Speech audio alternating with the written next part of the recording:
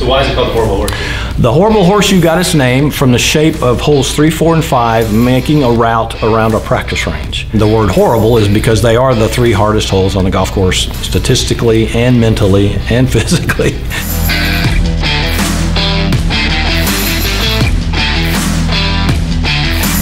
Challenge is to play the, the three hole horrible horseshoe six times for a, an 18 hole total. And we're gonna see how accurate the adjective horrible really is.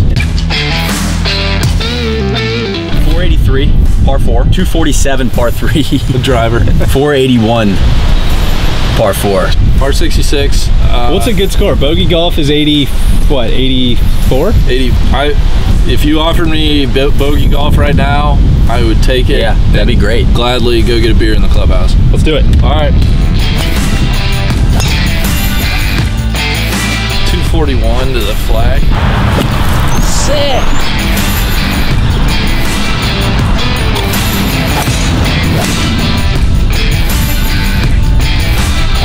That's gonna be a refire.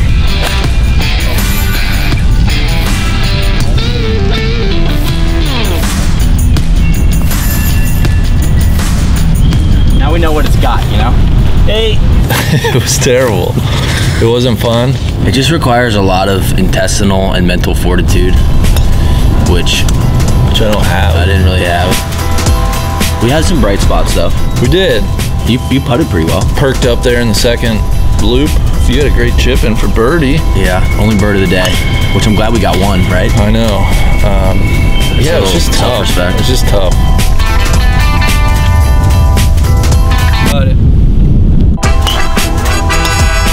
Yeah, I'm changing up the strategy. I'm gonna intentionally play short, hopefully right in the middle of the fairway. So you're laying up? Yeah. I'm laying up. All right, sick visor. I declare it unplayable. They say it's a short course comparative to everything else. I didn't feel that way at all from the tips.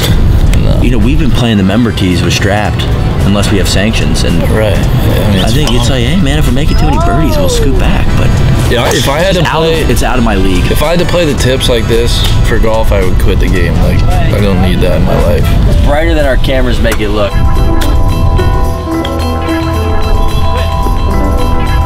That one got out of hand quick.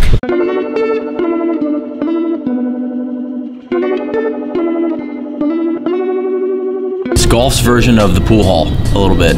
The the way the greens roll, it's like whenever you go play at a pool hall and they have those big long tables and you have tons of like long corner shots where you're like, wow, there's a ton of felt here. I have to hit this to get the that's no there's You just have to be so precise Yeah. so often, and, and then if I if I don't hit these long corner shots well, they're gonna, you know, it's gonna run like crazy and bounce off three walls. So the, the leaves are always really bad. And it, and with pool, you're always trying to leave it in the right spots. And I feel like around here it was similar, where a lot of felt to cover, and the ball would roll out to spots you didn't want to be in on the short side a lot.